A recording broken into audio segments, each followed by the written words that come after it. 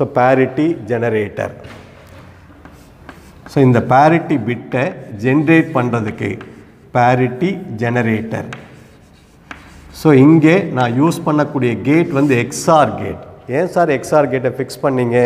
ஏன்னா எக்ஸ்ஆர் கேட்டுக்கு தான் ப்ராப்பர்ட்டி ஒத்தப்படையில் ஒன் அது கொடுக்கக்கூடிய இன்புட் ஒத்தப்படையில் இருந்தால் அவுட்புட் ஒன்றுன்னு இருக்கும். ரெட்டப்படையாக இருந்தால் அவுட்புட் ஜீரோன்னு இருக்கும். அதனால் அந்த ப்ராப்பர்ட்டி நான் இங்கே யூஸ் பண்ணிக்கிறேன்.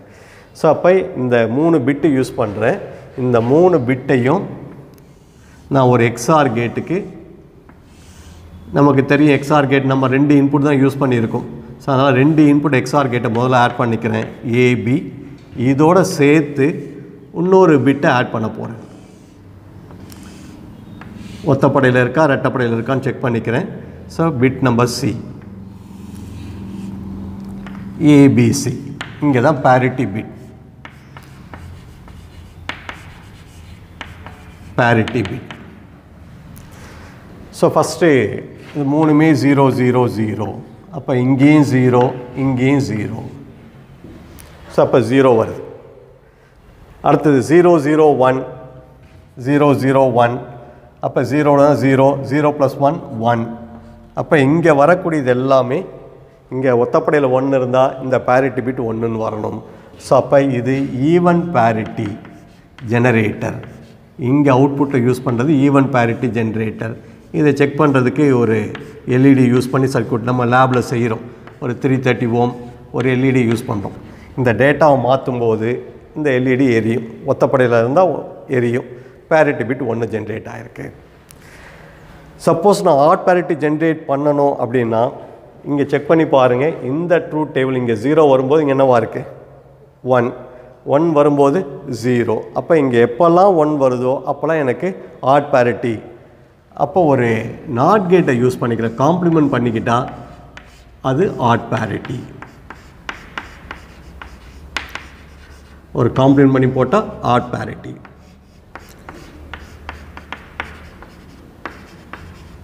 இங்கே ஜீரோ வரும்போது இங்கே ஒன் வரும். இங்கே ஒன் வந்து அங்கே ஜீரோன்னு வரும்.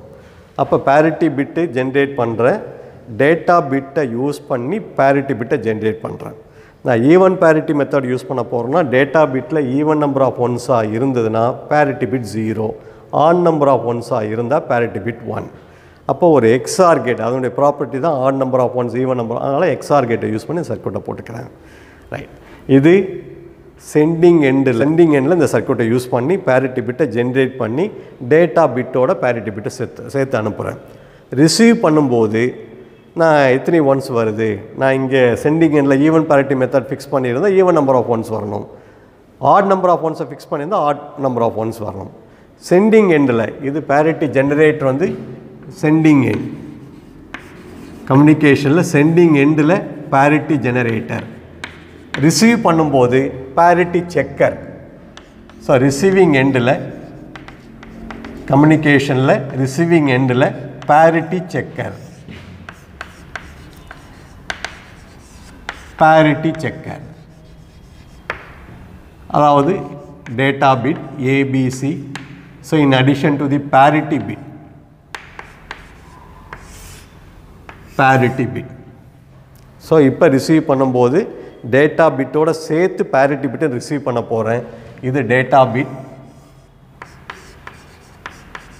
இது parity bit data பிட்டுடைய combination zero zero zero zero one zero one zero zero one one one zero zero one zero one one one zero one one one இப்போ நான் ஈவன் பேரிட்டி அப்படின்னு யூஸ் பண்ணுறேன் அப்போ ஈவன் பேரிட்டினா டேட்டாவில் even number of once இருந்தால் ஜீரோன்னு இருக்கும். On number of ஒன்ஸாக இருந்தால் ஒன்றுன்னு இருக்கும். So zero one zero zero last one one one one so parity பிட்டோடு சேர்க்கும்போது இங்கே ஈவன் நம்பர் ஆஃப் ஒன்ஸாக இருக்கும். இதுவே ஆட் பேரிட்டி மெத்தட் யூஸ் பண்ணுறேன் ஆட் பேரிட்டி பிட் அப்போ இங்கே ஜீரோன்னு வரும்போதுலாம் இங்கே ஒன்றுன்னு வரும். ஒன் வரக்கூடிய இடத்துல ஜீரோன்னு வரும். ஒன் ஒன் ஜீரோ அப்போ நான் பேரிட்டி பிட்டோடு சேர்த்து செக் பண்ணும்போது எனக்கு ரிசல்ட் எப்படி வரணும்? Parity checker so in addition to the data bit parity பிட்டையும் use பண்ணி நான் செக் பண்ணுறேன் நான் ஈவன் பேரிட்டி மெத்தட் யூஸ் பண்ணுறேன்னா அவுட்புட் ஜீரோன்னு வரணும். ஆட் பேரிட்டி மெத்தட் யூஸ் பண்ணுறேன்னா அவுட்புட் ஒன்னு வரணும். பேரிட்டி செக்கர் பேரிட்டி செக்கர் இங்கே நான் டேட்டா பிட்டோட பேரிட்டி பிட்டையும் சேர்த்து ஆட் பண்ணுறேன் ஸோ இது data bit AB then another bit C இது மூணுமே டேட்டா பிட் இதோட பேரிட்டி பிட்டையும் ஆட் பண்ணுறேன் பேரிட்டி பிட் ஸோ எனக்கு தெரியும் இது ஏ எக்ஸ்ஆர் பி இது சி எக்ஸ்ஆர் பேரிட்டி பிட் இது ரெண்டுத்தையும் ஆட் பண்ணி திருப்பி இதோட ஒரு எக்ஸ்ஆர் கேட்டை சேர்க்கிறேன். இதுதான் parity checker output parity checker output so இங்கே இந்த அவுட்புட் ஜீரோன்னு வந்ததுன்னா ஈவன் பேரிட்டி செக்கர் இந்த அவுட்புட் ஜீரோன்னு வந்ததுன்னா ஈவன் நம்பர் ஆஃப் ஒன்ஸாக இருந்ததுன்னா அவுட்புட் ஜீரோ ஏன்னா எக்ஸ்ஆர் கேட்டில் ஆட் பண்ணும்போது ஈவன் நம்பர் ஆஃப் ஒன்ஸாக இருந்தால் அவுட்புட் ஜீரோ அப்போ செக்கர் இது ஈவன் பேரிட்டி செக்கர் இதே எனக்கு ஆட் பேரிட்டி செக்கர் வேணும். ஒரு இன்வெர்ட்டர் போட்டு செக் பண்ணால் அதில் வரக்கூடியது ஆட் பேரிட்டி செக்கர் ஸோ இது ஆட் பேரிட்டி செக்கர்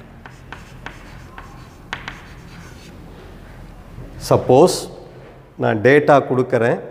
ஸோ இந்த டேட்டாவில் ஈவன் நம்பர் ஆஃப் ஒன்ஸ் இருக்குது ஆனால் அவுட்புட் வந்து எனக்கு இங்கே ஒன் வந்ததுன்னா டேட்டா மாறி இருக்குது ஈவன் பேரிட்டி மெத்தட் யூஸ் பண்ணுறேன் எனக்கு இங்கே ஜீரோ வரணும். இங்கே ஒன் வந்ததுன்னா அவுட்புட் மாறி இருக்குது ஆட் பேரிட்டி மெத்தட் யூஸ் பண்ணுறேன் இங்கே ஒன் வரணும். ஜீரோ வந்ததுன்னா அவுட்புட் மாறி இருக்குது so that is the checker circuit இதை யூஸ் பண்ணி நம்ம டேட்டா அனுப்பக்கூடிய டேட்டாவும் ரிசீவ் பண்ணக்கூடிய டேட்டாவும் ஒரே மாதிரி இருக்கான்னு செக் பண்ணிக்கலாம்.